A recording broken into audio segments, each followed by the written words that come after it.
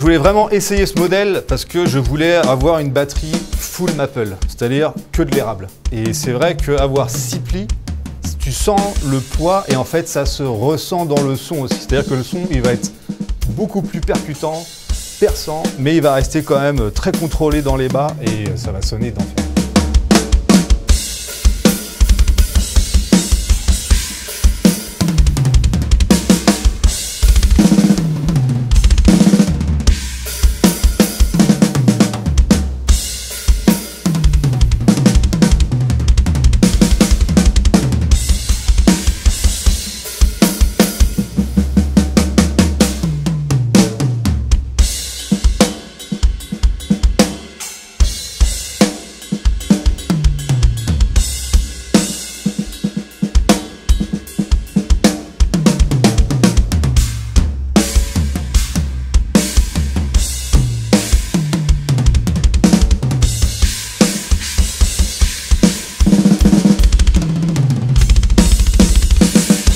Déjà, faut savoir que moi, je découvre cette batterie et qui est vraiment incroyable. Donc juste, euh, rien que sortir les tomes de la boîte, tu sens le poids, tu sens la qualité du bois. Ne serait-ce que justement de sentir une batterie neuve, c'est vraiment génial. Et là, le fait de l'avoir mis en place, de l'avoir réglé, et là, le son, il te mange. C'est un truc gigantesque. C'est incroyable.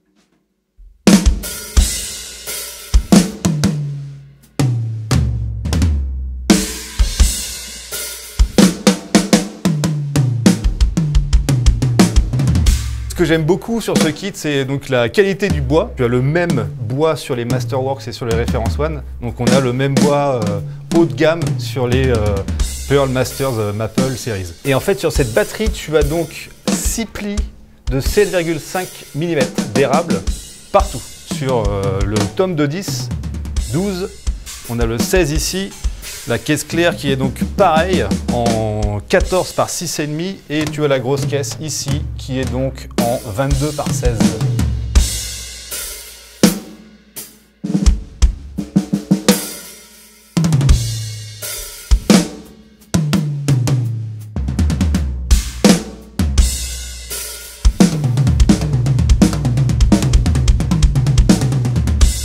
Là, tu vois que c'est vraiment du très haut de gamme avec les cerclages moulés diecast, qui est donc le haut de gamme de chez que tu retrouves sur cette série-là. Et là, ça tient vraiment la note en fait. Là, le tome ne va pas bouger, euh, tu peux même le taper très fort et c'est vraiment grâce à ce cerclage moulé qui euh, maintient euh, cette note tenue. Alors moi, la première chose que j'ai faite, c'est que j'ai enlevé les pots d'origine qui étaient donc sablés, j'ai mis mes pots clairs. Et là, je me suis vraiment penché sur le nouveau système R2R qui est là, que vous pouvez voir ici et qui est vraiment une révolution brevetée par euh, Pearl. Et c'est-à-dire que avec cette technique là ils ont réussi à euh, tenir le tome pour qu'il puisse sonner le plus pur possible. C'est-à-dire que là tu as vraiment 100% de la résonance du tome car il n'a rien qui est accroché au tome. Donc c'est vraiment le tome il est suspendu en, euh, dans l'air. Et avec ce système là en fait le centre de gravité du tome revient vraiment au centre du tome. Et là la résonance est vraiment parfaite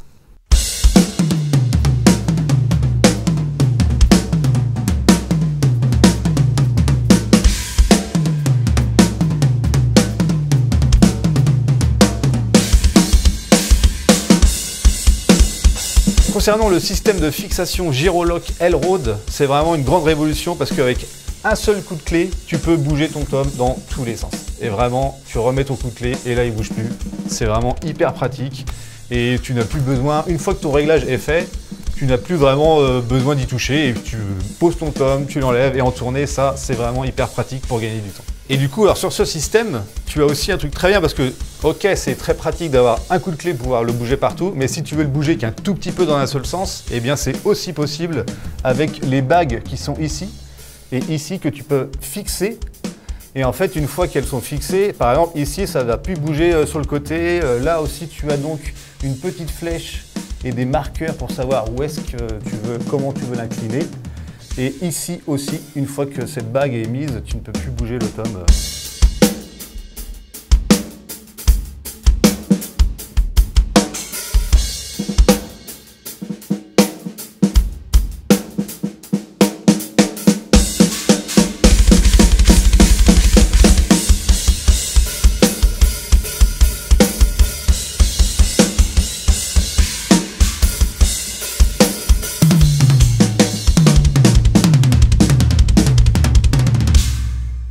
Ça a été vraiment extrêmement facile à accorder en fait. J'ai été très étonné de, ça parce que normalement ma batterie ou les autres batteries sur lesquelles j'ai pu jouer c'est toujours un petit peu délicat et là euh, ça a été très simple en fait. Et donc oui pour la caisse claire j'ai aussi mis ma, peau donc j'ai pu vraiment euh, l'accorder et euh, le truc pratique c'est qu'il y a 10 tirants dessus au lieu de normalement 8 sur les caisses claires en général. Ce qui aide vraiment dans la précision et comment ça va tenir l'accordage ça va être vraiment parfait et elle va pas se désaccorder.